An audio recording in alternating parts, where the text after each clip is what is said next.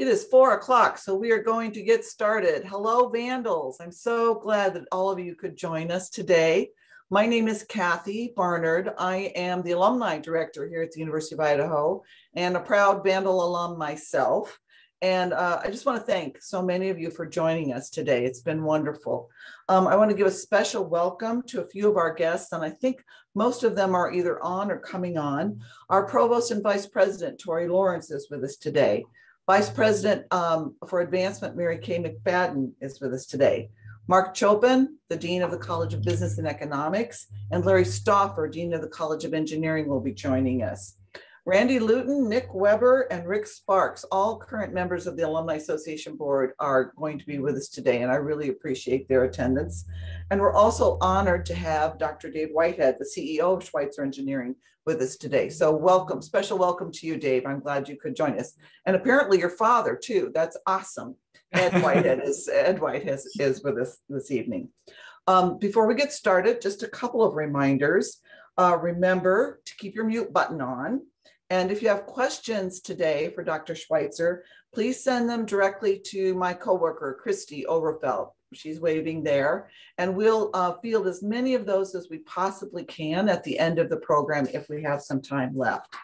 And now it is really my true honor to introduce Dr. Ed Schweitzer. Ed's the founder, president, and chief technology officer of Schweitzer Engineering Laboratories. Recognized as a pioneer, a true pioneer in digital power system protection, he was inducted into the National Inventors Hall of Fame in 2019 in recognition of his invention of the microprocessor-based digital relay.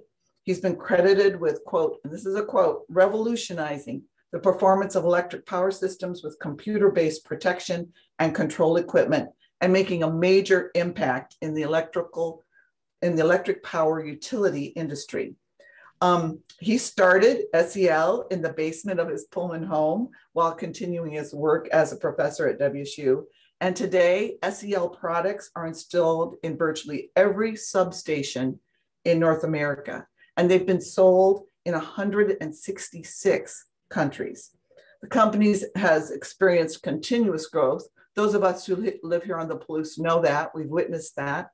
And now they have more than 5,200 employees including nearly 200 college interns.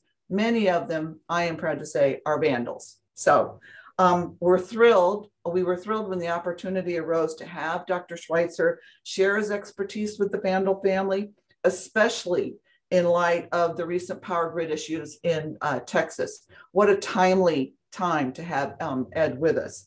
To make the best use of our time, I'm going to turn the floor over to him now um, we'll still field questions if there's um, time at the end of the hour. So with no further ado, welcome Dr. Schweitzer. We're so um, excited to hear uh, what you have to tell us. Well, uh, thank you for the introduction and thank you all for joining us this afternoon uh, for a cup of Joe. Of course, it's uh, 4.03 out here on the West Coast and that's a little late for most of us to, to drink coffee but it reminded me of uh, Stan Zocholl, who was uh, kind of like an older brother I never had, a, a genius in the area of protection and a, a fellow uh, uh with SEL. And uh, Stan liked to tell the joke about the guy talking to his friend, say, hey, Fred, you, uh, how much coffee do you drink in a day anyway? And Fred says, I don't know, six or eight cups. And guy says, Fred, doesn't that keep you awake? And Fred answers, Well, it helps. I want to talk about uh, something real serious, you know, is uh, uh, what happened in Texas. It left so many people uh, freezing in the dark and interrupted their lives, uh, even on top of a, a pandemic, uh, in, in addition to the other challenges that uh, uh, we, we face every day. And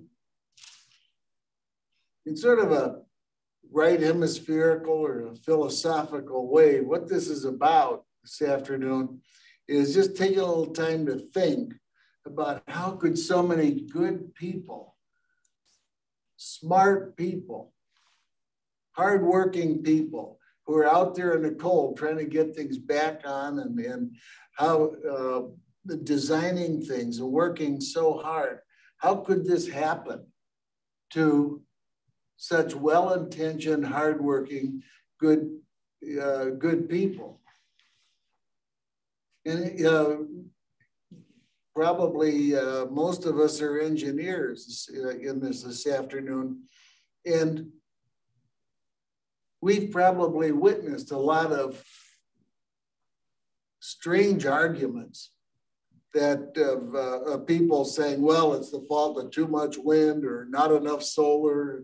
And no, I don't think it is. I think uh, uh, that uh, everybody wanting to point the finger at somebody else in a big hurry is not going to get us where we need to go. And we have to go back and, uh, with deliberation and uh, think about the, the facts of life here, beginning with F equals MA, and you can't push on a rope.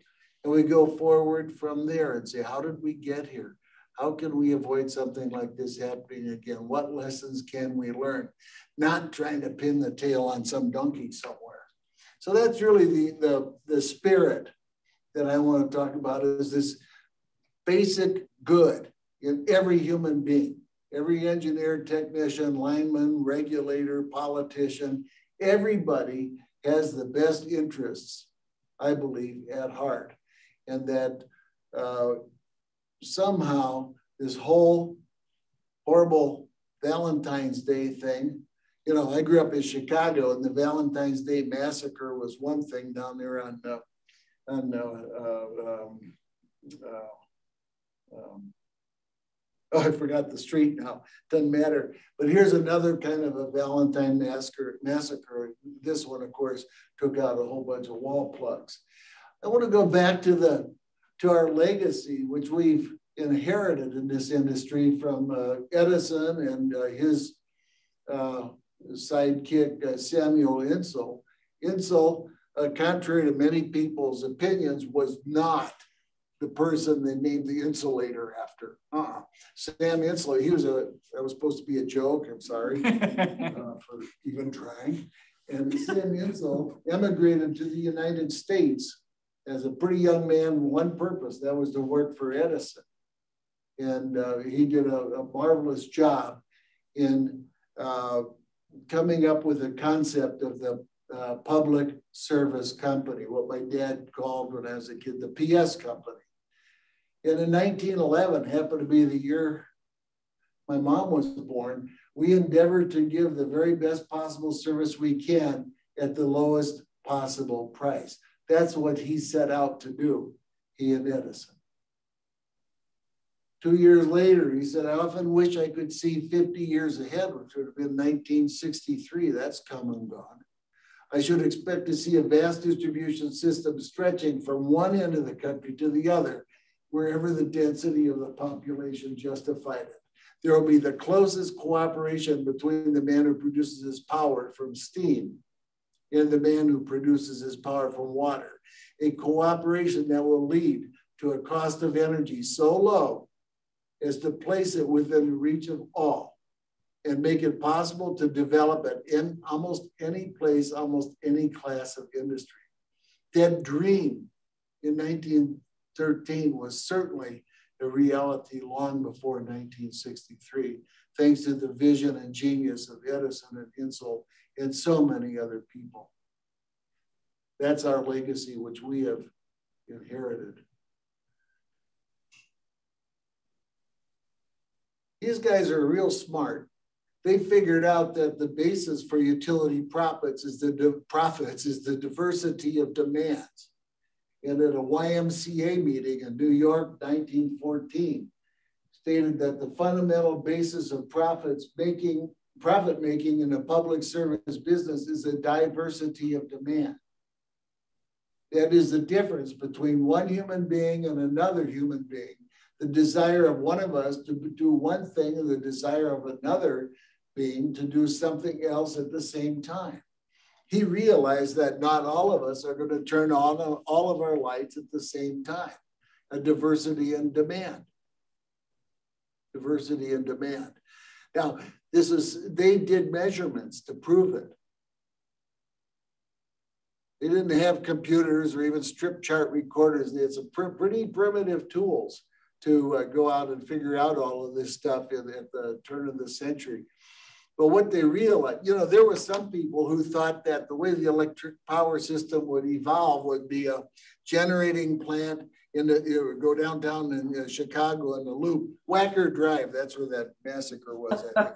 um, go down in the big buildings there on State Street. Here's Monkey Wards and Marshall Fields and Sears and Roebuck and others.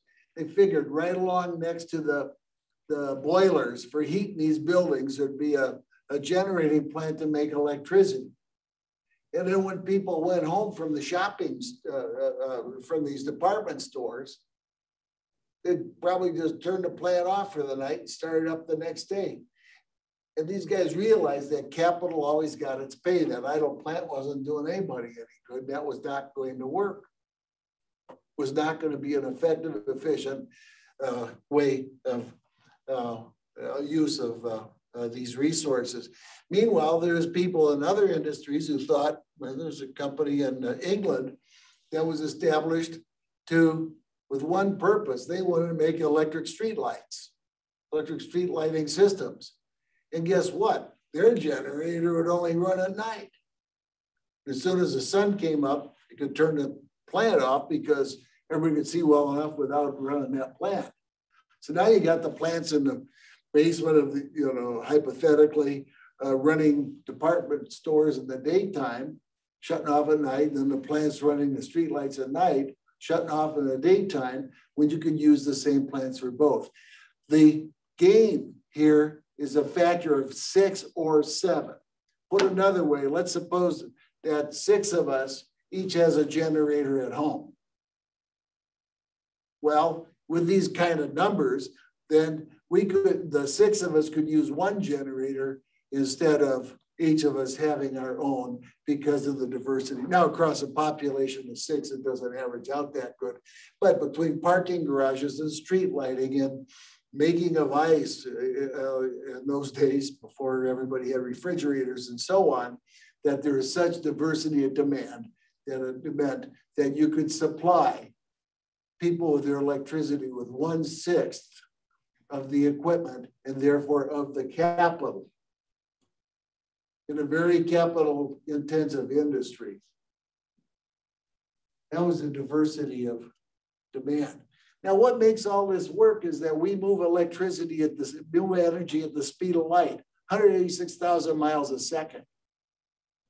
That's faster than our friends in the communications industry move information because they're moving it generally through fiber at 0.6 C. Ah, we got them beat. And guess what? It's a hell of a lot faster than moving uh, coal at 30 miles an hour in a freight train or a line pack of oil at maybe three miles an hour in a, uh, in a pipeline. So we get to do this. This is part of our legacy. We get to the privilege of serving a vital industry, moving energy at the speed of light. The value of that we already saw comes from combining the diverse intermittent loads, which all of us present to the power system, means less capital, lower rates for everybody. But guess what? Today, when we are introducing in significant scope solar panels and wind turbines, the same thing happens with this intermittency to some degree, but not totally to this intermittency of sources. Now let's face it, solar panels have a common factor, don't they? For the electricity they produce, what is it? The sun. So you can't get electricity easily around from uh, 24 hours a day in Pullman, Washington by solar panels. You can't even do it across uh, four time zones because of the transmission losses. Uh, two time zones maybe. So even when there's common factors like this, we start to lose some of the diversity. However, the electric power system, the transmission and distribution networks add value to these intermittent sources. And these are the fundamental, ba fundamental bases that we must consider in the, uh, for the profits in the public service business. Here's a little thought. Let's think about the value added here. Let's suppose we consider a ready wholesale generator like, uh, oh, I don't know, uh, uh, uh hydroelectric dam and, and its generators. And uh, well, I guess at a dam right now it's about uh, one and a half cents, but just I picked a price here from a ready, dependable source of say three cents wholesale. Retail, maybe that comes out at a dime or 13 cents. And what about an intermittent wholesale kilowatt hour? What's that worth? Greater than, equal to, or less than three cents? It has to be worth less because it's not always there. It might not be there when I need it. So a utility should be entitled to buy it cheaper. So utilities add value to wind and solar these four ways, serving faraway markets, smoothing out the diversity of these intermittent supplies, and the ready generators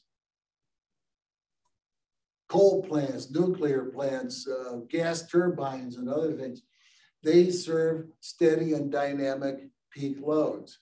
Hydro not only is a ready generator, but it also is a very, very effective economically and uh, uh, scale-wise way to store energy. Now, another aspect I want to talk about is going back to this original vision of Edison and Insull of uh, regulated monopolies. Now, monopoly sounds like a bad thing. It sounds, you know, reminds us all, of course, of the board game that uh, uh, most of us probably played too much of as kids, you know. But in the Engineers Club out in Dayton, he said there was one course of action I laid down to produce the greatest possible amount of energy at the lowest possible investment cost and operating cost and to sell that energy at the lowest possible price, at the same time making the investment a fair and satisfactory return for the people who take the securities, buy the stocks. That's what he set out to do. And of course, he realized that if there was a mon monopolistic regional franchise for a utility, that in exchange for that, that monopoly, he must give something up, namely the privacy of his books. He would need to open his books up to some kind of regulators, those regulators then being the public utility commissioners, public utility commissions. And he wanted those to be non-elected people who really weren't part of government, but they ended up, of course, being appointees of government. And over time, maybe they've become over politicized. How well did all this work? Here's, this is all adju adjusted for uh, inflation and expressed in uh, real dollars or cents, I guess, uh, for, uh, I think in 2020 dollars. I was born in 1947, so year before I was born, it's about 43 cents a kilowatt hour. Guess what? That's about what a retail kilowatt hour costs in Germany today. That's about what a uh, retail kilowatt hour costs in some markets in California. However, look at the trend over the years. So when I was a kid, the trend was down and down and down. I graduated from college. It went up a little bit. The low on this graph is, is 2002. And today we're probably about 13 and a half cents on the average. California, some other places, Hawaii, uh, it's up pretty high. Many of you are probably familiar with Little Bill. I wish I could see all of your hands because I'd ask, raise your hand if you've seen, know who Little Bill is. There's two hands. So little, two hands on one person, a lot of hands came up. Little Bill was a, uh, would sing a little jingle and it went like this, electricity costs less today, you know, than it did many long years ago. A little birdie told me so, tweet, tweet, little Bill. ComEd was celebrating that relentless effort they made on efficiency, which by the way benefits the environment, and reliability uh, to uh, in celebrating that in their advertisements. So this is the really the roots of our public service companies. Regional monopoly, monopolies regulated by a PUC, even a natural monopoly, some people call them, recognizing that capital always gets its pay. And uh, this monopoly being a generator, transmission, and distribution all planned together in a particular region, not a whole state, not a whole uh, country. And then the, these uh, individual utilities went into intertie agreements with one another and said, hey, how about your company and my company interconnect with the transmission line so that we can we can share and benefit from some diversity between our own loads. And guess what? Also for diversity of generation. That way, you and I can kind of uh, postpone when we have to build the next plant. And also that between us, we have enough to take our pl uh, certain plants offline every year uh, for, for, uh, for maintenance. So that's where they came from, the intertie agreements. Transmission interties for dependability and economy. And the PUC's role to ensure for prices were fair and that profits were reasonable enough so that the holders of the debt in terms of utility uh, uh, stocks could get a reasonable rate of return on their investments. Used to be cash, bonds, utility stocks, than other stuff in terms of uh, lease risk uh, going up. And a deeply rooted spirit in public service that does extend to uh, to today in, in our in our industry, which makes it uh, even a bigger uh, honor to serve it. I want to think, been thinking about this, that even these monopolies that we know compete to serve by giving the best price, the, uh, the lowest price, and the most value. And Insull said so in 1911. So then what happened is, uh, well, we went through a phase of re-regulation that was driven, uh, some folks think mainly by uh, Enron, wanting to deregulate the generation part of it so they could build generating uh, plants that were not so heavily regulated, uh, pretty much anywhere a gas pipeline crossed an electric uh, transmission line. So the idea was that these deregulated generators could produce power and send it into the grid, where the grid is really those intertie, uh, uh, transmission lines taken together in aggregate it was uh, never, of course, anything that was carefully designed out to be a national grid. Distribution companies would buy the energy from that grid as if you were going to a Saturday market for apples and, and uh, uh, tomatoes or something. It's uh, managed by ERCOT in Texas, but ERCOT doesn't own any GT or D. It was a human construct necessary to be able to control what was going on. It's the Electricity Reliability Council of Texas, a name that uh, is especially um, kind of difficult to, to listen to in the context of uh, um, uh, what happened in February. Retailers further market the energy to consumers. And what's sort of missing today, I believe, is this close link of public service companies dedicated to its customers that do the whole thing the generation, transmission, distribution, billing. So really, it gets a lot harder to see who's really responsible to you and me, the customer, for your and my generation. Who's really behind those ready kilowatts when you go to plug something in. Well, let's talk a little bit more directly about Texas. That was a 24 minute whereas. Here's the way ERCOT was uh, looking at things uh, last fall.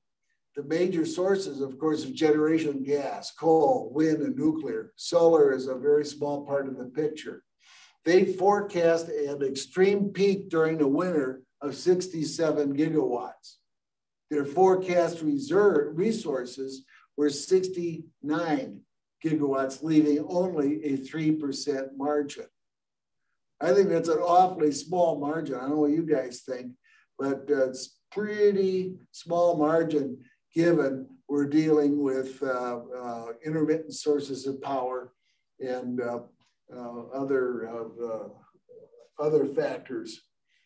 The reality is the actual peak was 69. The actual resources were only 43, leaving a margin of minus 38%. And no wonder the lights went out. One of the strangest things that I'm still trying to get my head around, and I bet half of you could explain it to me 10 times better than I'll try here, is why the prices, why did the PUC and ERCOT decide that they could, should, in order to somehow make more power available, kick the price up to $9 a kilowatt hour. That's what the dark red stuff is. $9 a kilowatt hour. Don't forget, average retail price is uh, 13 cents. $9 a kilowatt hour. And what's this is a picture from uh, February 16th. You'll notice in the lower, you know, along the Rio Grande here, next to Mexico, there's a little region where it's dark blue. Dark blue is associated with negative prices. So here in most of uh, uh, Texas, used to be Mexico, as my wife will tell me, because she she's from Mexico, that uh, in most of Texas, that the the wholesale prices were bumped up to nine dollars a kilowatt hour, and in certain areas, uh, it was negative, priced negatively. And you kind of wonder. And I've watched this map. I've had it running on another monitor for about a month And I keep watching it and it changes like a colors of a kaleidoscope as these prices going on. I don't understand that. Here's what Texas looked like this morning. You know, pretty good. And then look at the bottom, uh, all the way down there in the bottom. And didn't look too good. There's some areas where the prices were sky high again, right next to some other areas within miles where the stuff was was even negative. I'll take, I'll pay you to take it. Here's what the Wall Street Journal presented on uh, the um, February 17th. They showed that uh, wind had dropped off in, in a period of about four weeks by uh, uh 20 gigawatts. And uh, coal picked up some of that by going up to two or three uh, gigawatts. Natural gas picked up most of it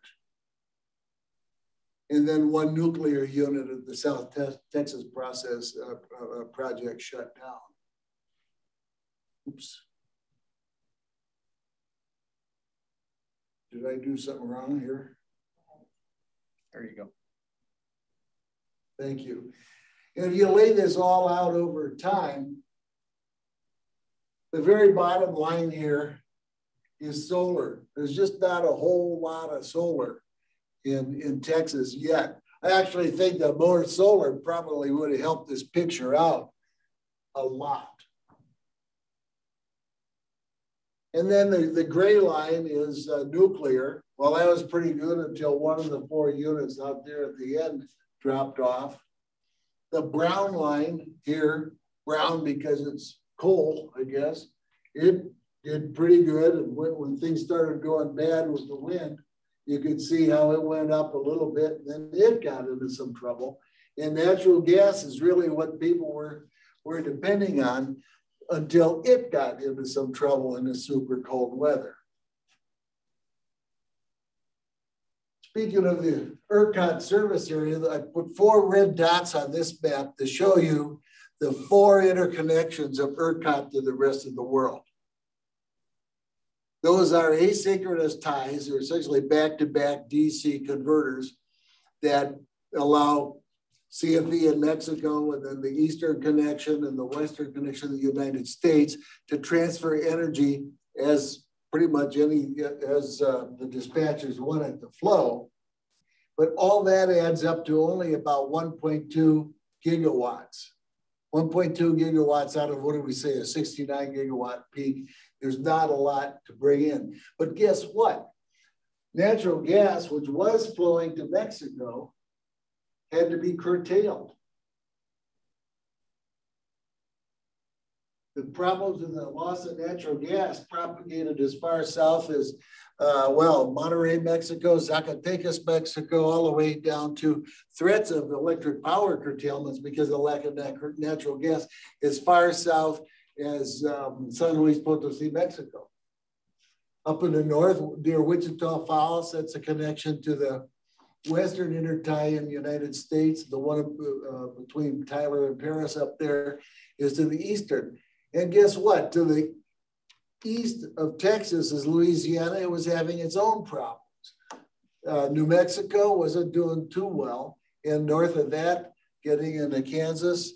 So a lot of this argument about, well, if we only had more transmission, and if Texas were just interconnected with the rest of the country, it may not have gotten into trouble. I don't really think that's, that's it might have helped a little bit, but I don't think it would have helped a lot. Go back to Insull again. Service is our duty to the public. Let us suppose by some calamity, our service is instantaneously stopped. It would stop the urban transportation lines of the city. It would stop the vertical railways of the cities, that is the elevator services. It would absolutely stop the business of our big emporiums of retail commerce. So he preached that for electricity to be successful, that it had to be absolutely reliable. So reliable that you and I would feel safe about getting into an elevator or a streetcar. Now, this is a picture from a pharmacy owned by a friend of, uh, of our uh, VP for sales and customer service, which was totally ruined by pipes freezing. It's just appalling to see the kind of damage and suffering that people went through. So sometimes I wish we could just call Ready Kilowatt back to the job and uh, Ready, your tireless household service. I wash and dry your clothes, play your radios, I can heat your coffee pot. I am always there with lots of power to spare, cause I'm ready plug in. I'm ready. This was a source of great pride, a tremendous accomplishment of our industry. It's the same people today, or their kids, or their grandkids, but the, this is all of our legacy is ready kilowatt. And I really believe because of the way that we have reorganized that we've gotten ourselves into a few problems. So how are we going to solve this? Because one question is to ask sort of where's ready kilowatt? Should we return to the regional franchises for generation, transmission, and distribution? Well, I think uh, many people would tell me and you that uh, if you want to do that, uh, uh, good luck, but you ain't ever going to get that toothpaste back in the tube. And should we insist on PUCs that balance the interests of customers and shareholders? Perhaps. I think that's a, a, a good one. Or empower customers. We already pay for what you use, but what if your distributor were to pay you when they can't supply you? After all, how's that pharmacist going to pay for all of the damage caused because he didn't have electricity. If that were to happen, that distributor has got to get the money from somewhere. And if the source of the problem is the generators, then he needs to be able to hold the generators accountable. This all seems so complicated compared to the way that Edison and Insull uh, envisioned and, and uh, built such a tremendous system in our country. What are other ideas? Well, gosh, we can buy more backup generators for our homes, offices, factories, and schools. Every, I think virtually every building at SEL has got a backup generator in it. Sewage treatment plants have it, sewage pumping stations, uh, water, uh, water facilities in many places have uh, backup generators, hospitals, um, uh, maybe communities need to have more backup generators. Maybe distribution companies need to invest in generation again themselves. Uh, but we must store fuel on site. You know, if we try to run everything from the gas pipelines, well, the pressures drop. In fact, there's a new codependence between heating and electricity, both requiring natural gas. and a further codependence there as the electricity is now the source of energy used to drive the compressors into pipelines. So now you've got an, an evil thing going on. You lose electric power, you can't push the gas through the pipeline. Used to be that those uh, compressor stations were essentially jet engines that uh, would run from the uh, the few, very a little bit of the very fuel they were trying to move. Solar and wind are in, intermittent. I don't see them solving the problem entirely on their own. Hydro is renewable. Water behind the dam is economical and a dependable storage. We do need to build more transmission, I think, but nobody likes looking at it. And those are the, this transmission is the key to making these intermittents less intermittent. Uh, small nukes, well, now we're talking way out in time, and we got an emergency on our hands, I think. So, what might actually happen? Well, maybe the fourth time here is the charm. Everybody talked about the 2021 Valentine's Day surprise as a storm of the century, but there's been major winter storms with similar kinds of effects of different proportions 2011, 2003, 1989. And in these, there have been the recommendations to do more winterization of plant. And I think maybe that we will see that happening both through regulations and also because of the strong legacy of our industry to be to produce dependable power. Maybe the PUC ERCOT pricing model will be rejected and when they try to use it as a supply driver, expecting you know, generators to, to pop up if they only increase the price. We've already seen some resignations from ERCOT and the uh, Texas Railroad Commission, the latter entity being what's responsible for the gas distribution. Uh, we know that six days from now, the House Energy and Commerce Committee uh, will meet, and they're going to be discussing this.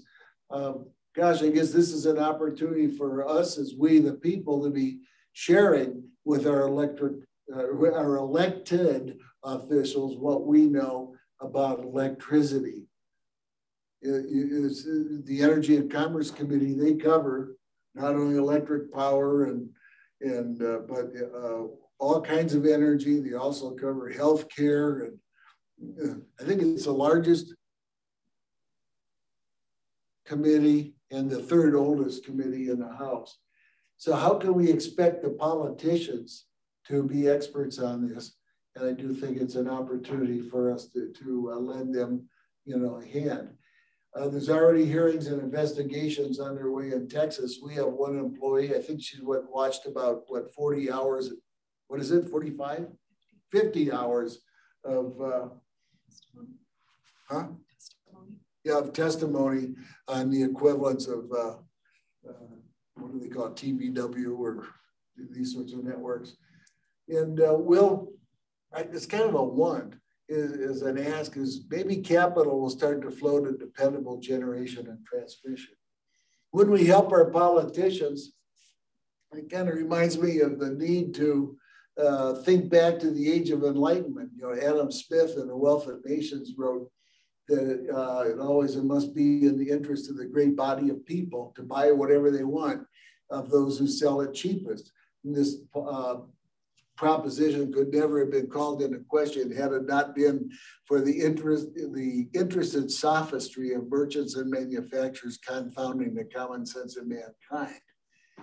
And I think he didn't know it, of course, but he might have been talking about some of the people uh, involved with Enron many years ago.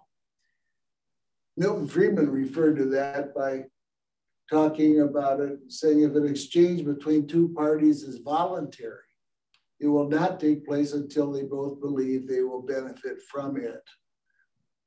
So if Dave wants to sell me his car and I want to buy it, we come up with a with a deal. Dave's going to be happy he's got some money, and I'm going to be happy that I don't have to ride my bicycle.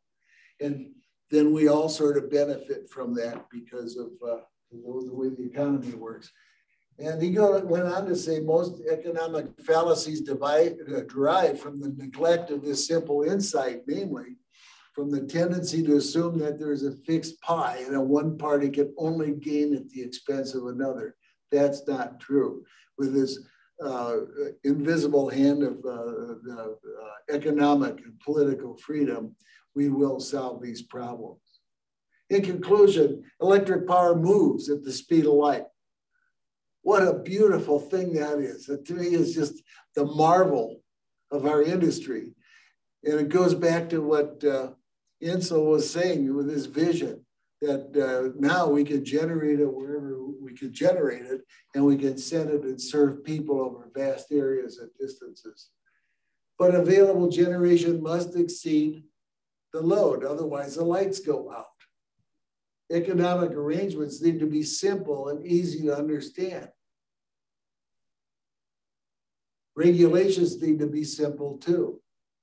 And our regulators should not have this ability to suddenly say, no, the Texas price uh, should uh, vary all over the place and be kicked up, kicked up to nine bucks a, a kilowatt hour, adding insult to industry or to uh, injury, I'm trying to say.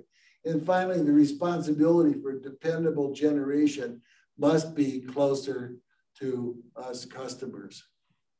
Sometimes I wish that Ready Kilowatt, this is uh, the, the Texan personification of the personification of electric uh, uh, um, dependability. And sometime I wish he would get on his white horse and ride into town and uh, be there whenever you plug in with lots of power to spare. Einstein said there's really only ways, two ways to live your life. One is if nothing is a miracle, the other is as if everything is. And I think that electric power is a miracle. It's the ability that humankind has mastered to send power over vast dis distances, you know, 11 inches in a night microsecond or six microseconds to cover a mile. It is truly a miracle. And we feel blessed, graced, fortunate to have, to be in a role to uh, serve this important legacy. Thank you very much. Oh my gosh, thank you so, so much, Dr. Schweitzer. Um, we do have time for questions, which is awesome. So um, I'm going to turn it over to my coworker, Christy Overfelt. Christy, what have we got uh, for questions so far? We have a few questions and a lot of comments. Um, but the first question is, in terms of protecting our power from a targeted attack, how is SEL innovating the security systems of the electric power systems in use on a daily basis? So that sounds like a cybersecurity question. Is that what? what I, I, I, I take it as that. Okay. So uh, my first job out of school was working for uh, a particular agency of the Department of Defense, and I had a real good upfront look at what uh, uh, people were trying to do, uh, reading each other's mail and uh, otherwise uh, interfering with these with communications, and it made me aware that when I started thinking about making digital protective relays, that we must protect uh, our customers and everybody who plugs something in from the risk of somebody being able to call into a digital relay and turn the power off or change the settings on a relay. So from, from day one in 1984, we had uh, provided uh, different levels of passwords and, and, and uh, alarm contacts and a whole array of uh, capabilities to uh, um, control the problem. And that was in the device. And then in systems, we worked with utilities to do clever things like interposing relays driven by a SCADA contact that would open up the telephone line between the modem and the, and the uh, protective relay systems. And then we have built on those over the years. And uh, Dave Whitehead and I love to tell people uh, when it comes to critical in infrastructure, never connect critical infrastructure to the internet. The internet is Star Wars bar scene. It is not a safe place. So why would anybody ever plug critical infrastructure into the internet. Don't do that. So we got two things going on. One is sort of a, uh, a, serious need of not to do that on the one hand, and on the other hand, an awareness that lots of people really want to do that, and we have to uh, provide means of uh, uh protection for that. We have developed uh, uh, crypto products, software-defined network switches where nobody talks anything until you put the paths into place. Many, many different kinds of technologies as well as practices that, uh, uh, including supply, supply chain control. And uh, uh, we write our own code here in the United States. We manufacture our own products at our own plants. We're not sending our designs out to somewhere else where they may come back with a surprise in them. And these are some of the things that come to mind in answering. Security group that does nothing but. What's that? Nick's security group. Oh yeah, so we have uh, a group that does nothing but cybersecurity uh, uh, activities um, in relationship to uh, the U.S. Uh, Department of Energy uh, and other government, other parts of government. So this is something that is in our genetics from day one. All right. Next question is, what do you see as the future of energy production and transmission 60 years from today? 60 years from today, the production and transmission? Yes. Production will be nuclear. I'll go that far. That we will see. I probably won't live long enough to see it. I'm 73 and 60 years now. I won't be here six years. But uh, I think a lot of people are real happy about that. I, uh, I, uh, I think that uh, nuclear is the cleanest, the safest way that, that humankind has uh, come up with to uh, produce energy. And one measure of the safety of it is a calculation of, it's a little macabre, I guess, but it's the kilowatt hours produced divided by the number of lives lost doing it. The lowest number, the fewest lives have been lost by generating power uh, from by splitting the atom. So that's for the generation. For the transmission, I think uh, uh, we will see a heck of a lot more DC transmission, distribution, and use and continued use of AC transmission. I think we will see on the AC side, we will see circuit breakers that operate, and this is not in 60 years, some of these things I will live to see them, Lord willing, is that uh, we will see AC circuit breakers that aren't taking three cycles or two cycles or one cycle, but maybe five milliseconds, two milliseconds to interrupt faults. Why? Because we can already do that on DC. If you think about way an AC circuit breaker works, it waits for a current zero. Well, shoot, if you tried that in DC, you'd wait forever because there ain't no current zeros in DC. So you got to force the current zero. We know how to do that in DC we sped up the protection from cycles down to milliseconds. And we know that our friends who are making circuit breakers are speeding up, uh, are prepared to speed up AC uh, uh, uh, circuit interruption because they already do a wonderful job of it at DC. Great. Okay, what is the parallel between ERCOT and Enron? I don't believe there is one. I do believe that uh, the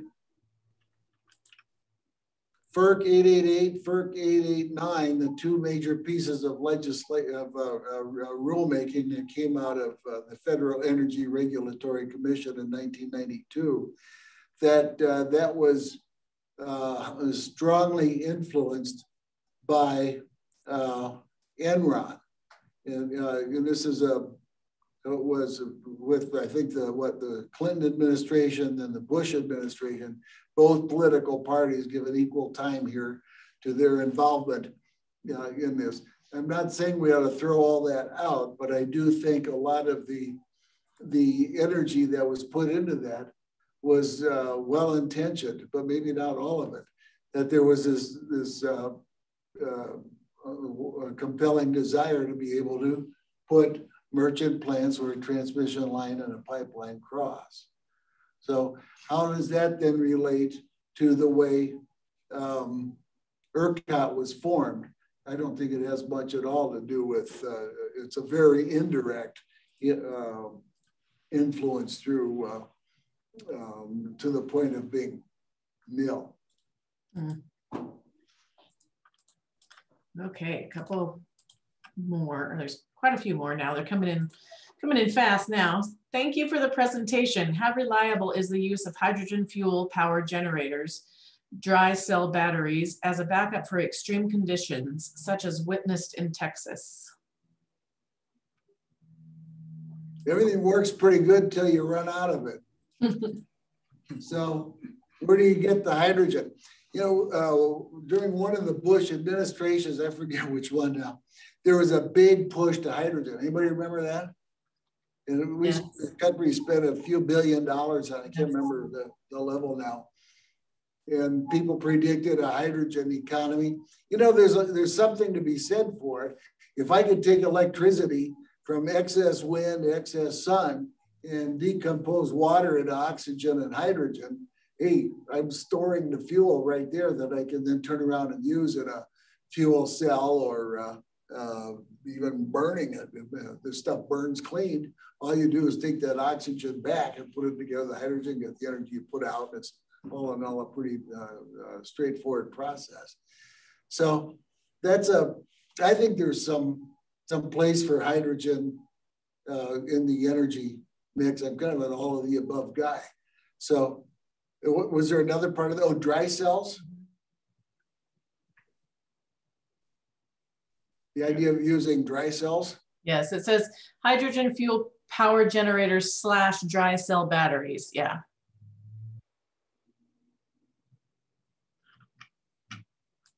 Well, the fuel cell technologies, you know, the first ones were used in our space program, I think in the Gemini program.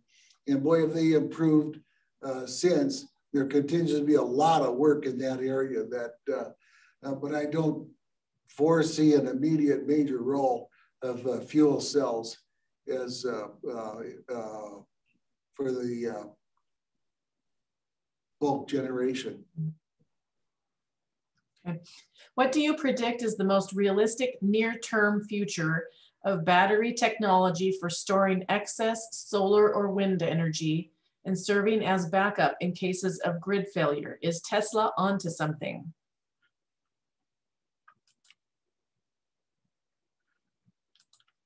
Tesla has done a remarkable thing and other people driving the cost of uh, battery storage down.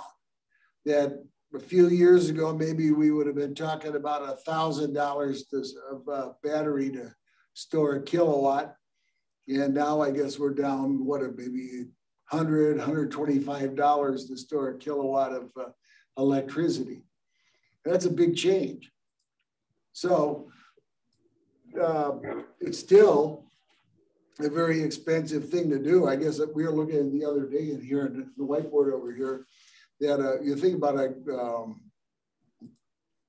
battery in an electric car that uh, to say a $5,000 item that stores $40 of electricity, $30 of electricity, and compared to a gas tank that probably costs forty dollars, the OEM price of a gas tank for a, know, that holds uh, say thirty gallons of gas, that uh, is a, a lot more energy storage. So you compare these two things that store. Uh, the gas tank stores more energy than, the, than this battery I was thinking about, forty dollars, and maybe five thousand dollars. So the economics of this are uh, are really in play these days.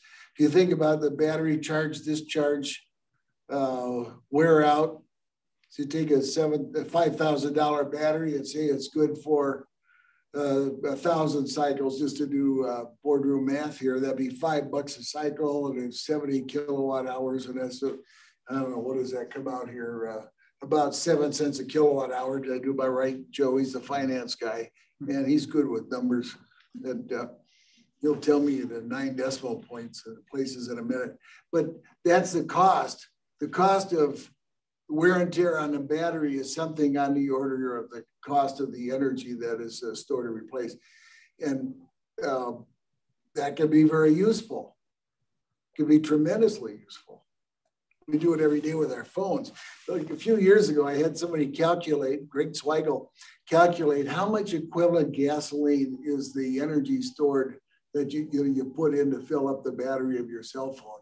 And I think it was like three drops from an eyedropper. That's kind of a fun number to think about.